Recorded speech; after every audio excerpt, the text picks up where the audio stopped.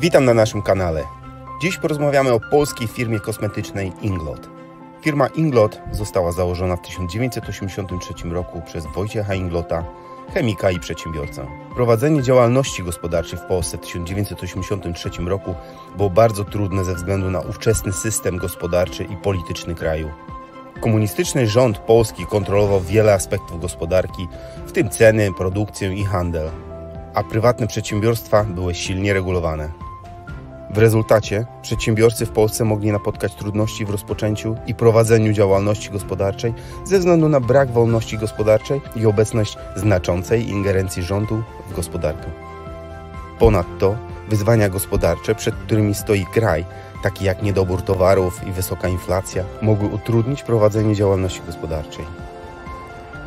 Pomimo tych wyzwań Wojciech Inglot z powodzeniem założył i rozwijał swoją firmę kosmetyczną Inglot, która jest obecnie znaną międzynarodową marką.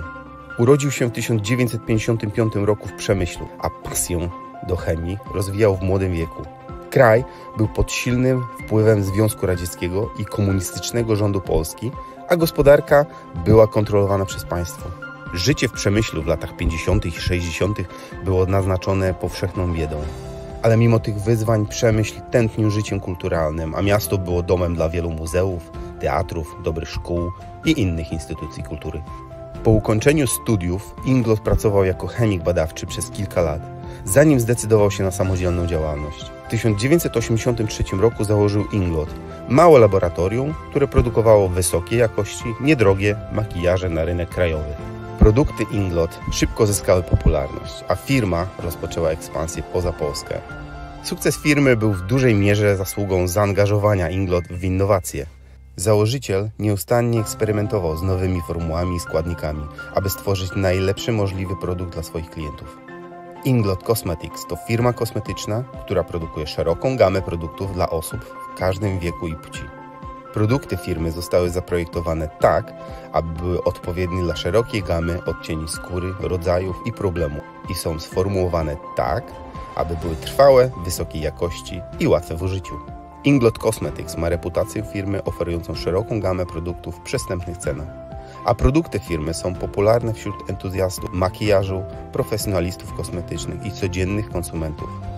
Linia produktów firmy obejmuje różnorodne produkty do makijażu, lakieru do paznokci i pielęgnacji skóry, w tym podkłady, korekty, cienie do powiek, szminki, róże i wiele innych. Oprócz pracy nad rozwojem swojego biznesu, Wojciech Inglot był również aktywny w lokalnej społeczności i znany był ze swoich działań filantropijnych. Wspierał wiele celów charytatywnych, w tym edukację, opiekę zdrowotną i opiekę społeczną. Pomimo wielu osiągnięć, pozostał skromny i zawsze stawiał swoich klientów i pracowników na pierwszym miejscu. Wraz ze wzrostem popularności przedsiębiorstwo rozpoczęło ekspansję poza Polskę i na inne rynki na całym świecie. Obecnie spółka ma ponad 700 sklepów w ponad 70 krajach, w tym w Polsce, Stanach Zjednoczonych, Wielkiej Brytanii, Szwajcarii, Słowacji, Węgrzech, Pakistanie, Japonii, Australii, RPA i wiele, wiele innych.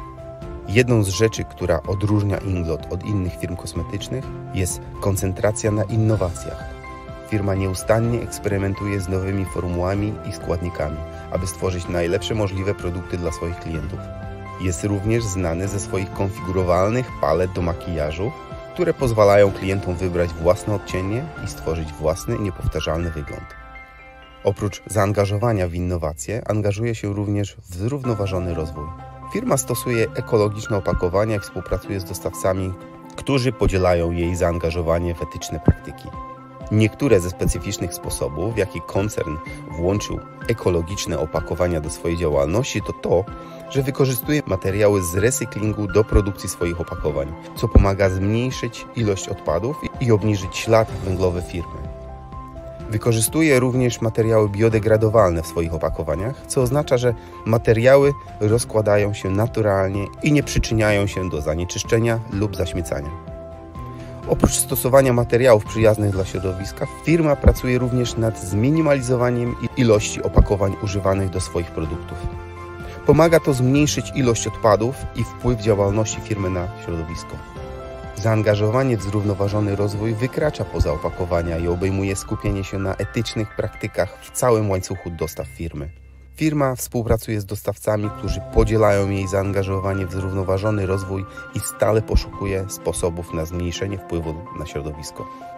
Wojciech Inglot był ukochaną postacią w branży kosmetycznej i zostanie zapamiętany jako wizjonerski przedsiębiorca, który pomógł zmienić sposób, w jaki myślimy o makijażu. Firma zaczynała jako małe laboratorium, które produkowało wysokiej jakości, niedrogie produkty do makijażu na rynek krajowy. Wojciech Inglot zmarł w 2013 roku w wieku 58 lat. Podsumowując, Inglot jest doskonałym przykładem polskiej firmy, która odcisnęła swoje piętno na arenie międzynarodowej. Dzięki wysokiej jakości produktom, zaangażowaniu w innowacje i koncentracji na zrównoważonym rozwoju, nic dziwnego, że Inglot stał się ulubieńcem entuzjastów makijażu na całym świecie. Dziękujemy za oglądanie. Nie zapomnij zasubskrybować naszego kanału, aby zobaczyć więcej filmów o ciekawych polskich firmach i trendach w świecie biznesu.